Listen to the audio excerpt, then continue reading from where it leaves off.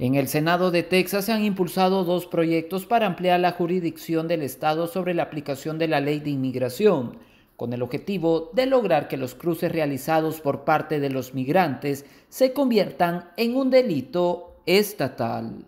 Esta ley es una muestra más de la política antimigrante y xenofóbica en contra de nuestras comunidades. Pero no es primera vez que enfrentamos este tipo de cosas. Ya hemos tenido otras leyes groseras y agresivas como la 187 de California, como la SB 1070 de Arizona, la cual se logró derrotar a través de la organización de todas las comunidades y todas las organizaciones a nivel nacional. Por lo tanto, en este momento estamos trabajando con todas las organizaciones aquí en el estado de Texas para que nuestros hermanos conozcan cuáles son sus derechos y cómo defenderlos.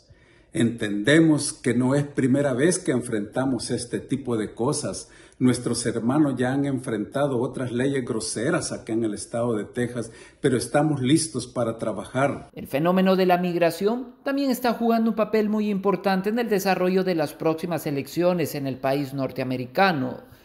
Temen que este sea usado para sacar ventaja, tal como lo ha hecho el expresidente Trump quien ha reiterado que de llegar nuevamente al poder ocupará todas las acciones legales para endurecer las leyes migratorias.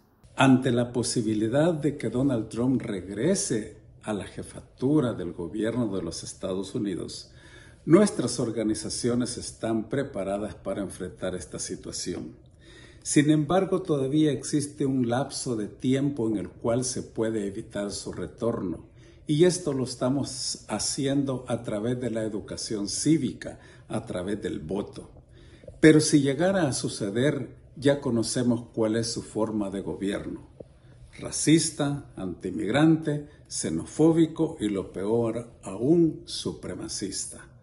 Ya en el pasado hemos enfrentado situaciones difíciles. Acordémonos que Donald Trump eliminó los programas de TPS sin embargo, la unidad de todas nuestras comunidades, de todas las organizaciones a nivel nacional, hicieron posible que este año este programa se recuperara.